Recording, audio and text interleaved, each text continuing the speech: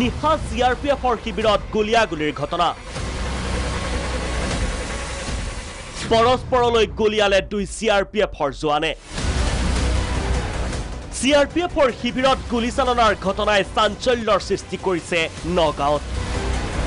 কাটিমাৰীস্থিত thirty four B N C R P F কেম্পত নিশা প্ৰায় বাৰ বাজি ত্ৰিছ মিনিটত হোৱা দোৱা দুই কনিষ্টবলৰ মাজতেই গুলীয়া গুলীৰ ঘটনা চি আৰ পি এফৰ দুই কনিষ্ঠ বলৰ মাজত ব্যক্তিগত কথাক লৈ প্ৰথমে কথাৰ কটাকটি তাৰ পাছত গুলীয়াগুলীৰ ঘটনা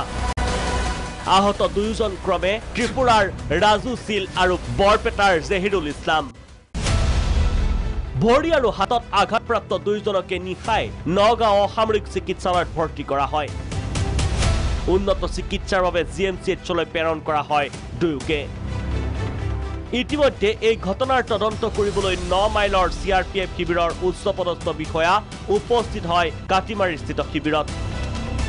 ঘটনাস্থলৰ পৰা তদন্তকাৰী বিখয়ে উদ্ধাৰ কৰিছে 5 ৰাউণ্ড খালি কাৰ্টিজ এই ঘটনা কাল রাত কোজ হ'ই যবকি এক سنت্ৰী ডিউটি সে उतरके লাইন মে যা রাথা উস দোরান উসসে ফায়ার হো গয়া জিসমে কি এক জওয়ান অৰ খুদ জিসকা হতিয়ার থা ও ইনজৰ্ড হ্যায় इसके बाद दोनों को प्राथमिक प्राथमिक चिकित्सा नौगांव में देने के बाद जीएमसीएच गुवाहाटी में शिफ्ट कर दिया जाए गया है जहां पे दोनों इलाजरत हैं अब इस घटना की जांच सीआरपी द्वारा कोर्ट ऑफ इंक्वायरी आदेशित कर दी गई है जिसमें तथ्य सामने आएंगे कि ये हादसा कैसे हुआ और इस विषय में लोकल पुलिस द्वारा भी मामला दर्ज कर लिया गया है নগাঁৱৰ পৰা ভিডিঅ' জাৰ্নেলিষ্ট লক্ষ্যৰ সহযোগত অজিত শইকীয়া ৰিপৰ্ট প্ৰাগ নিউজ